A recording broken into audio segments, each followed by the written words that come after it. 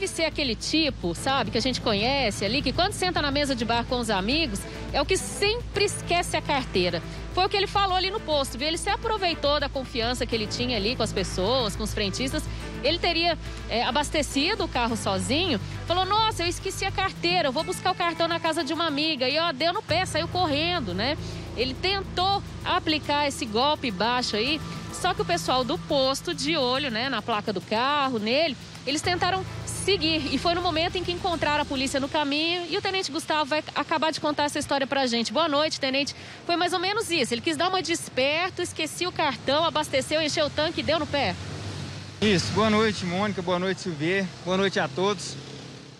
Esse indivíduo, um rapaz de 29 anos, já com tornozeleira eletrônica, então ele já é um apenado. Ele tentou dar esse golpe, na verdade ele conseguiu abastecer o tanque, encher o tanque do veículo. Entretanto, um, um cliente desse banco percebeu toda a movimentação e viu que ele saiu em alta velocidade, chamou um frentista para poder acompanhar esse carro.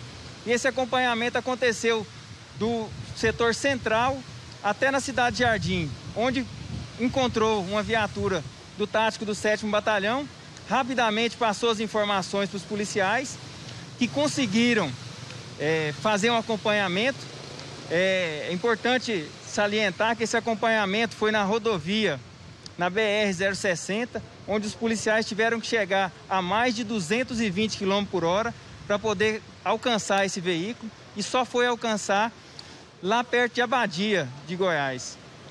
Ele tentou e... dar uma versão totalmente diferente quando foi abordado, né? Sim, na abordagem, inicialmente ele falou que era advogado, aí continuou a conversa, já era estagiário do, do escritório de advocacia.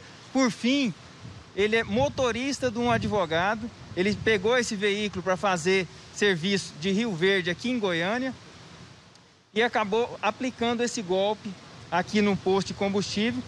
Só que felizmente a Polícia Militar conseguiu fazer a prisão. Ele foi autuado por estelionato, foi autuado por direção perigosa e por dirigir sem habilitação. É importante é, parabenizar o cidadão que contribuiu com o posto de combustível, que chamou o frentista, que acompanhou o veículo. E esse acompanhamento, ele deve ser feito, mas deve ser feito à distância, porque numa situação o, o criminoso ou a pessoa que aplicou o golpe pode estar armado, pode causar algum problema, mas acompanhe, ligue 190, procure uma viatura mais próxima e informe os policiais que isso é importante.